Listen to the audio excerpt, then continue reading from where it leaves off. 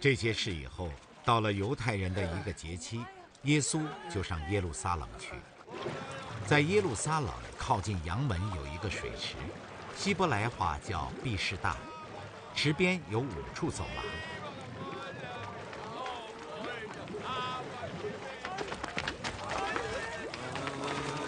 在那里躺着许多病人，有瞎眼的、瘸腿的和瘫痪的。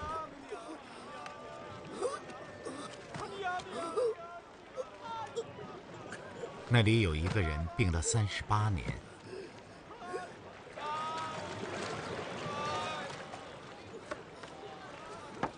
耶稣看见他躺着，知道他病了很久。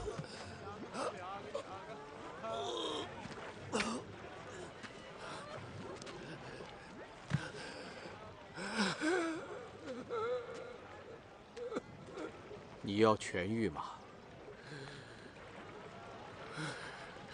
先生，水冻的时候没人会把我放在池子里，自己想去的时候总是给别人抢先。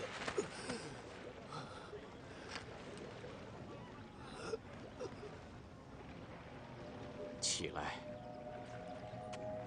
拿着你的褥子走吧。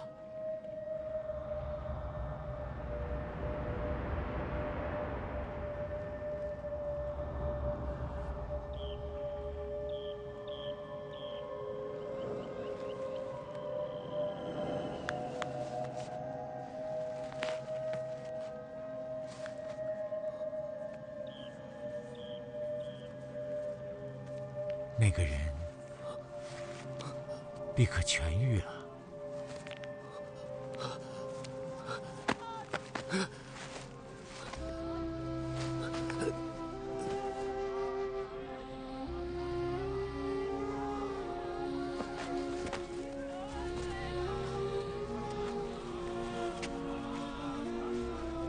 拿起了褥子，走了。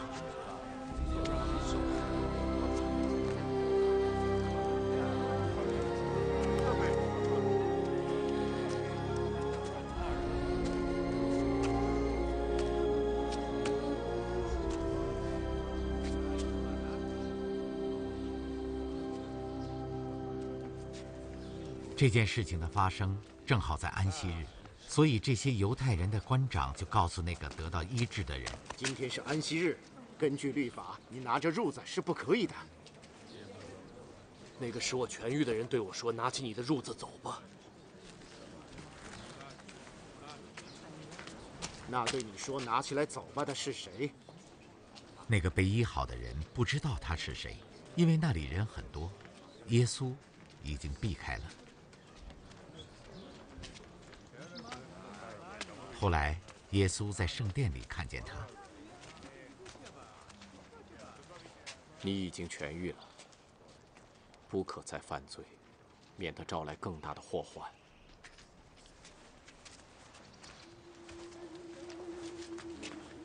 那人就去告诉犹太人，使他痊愈的就是耶稣。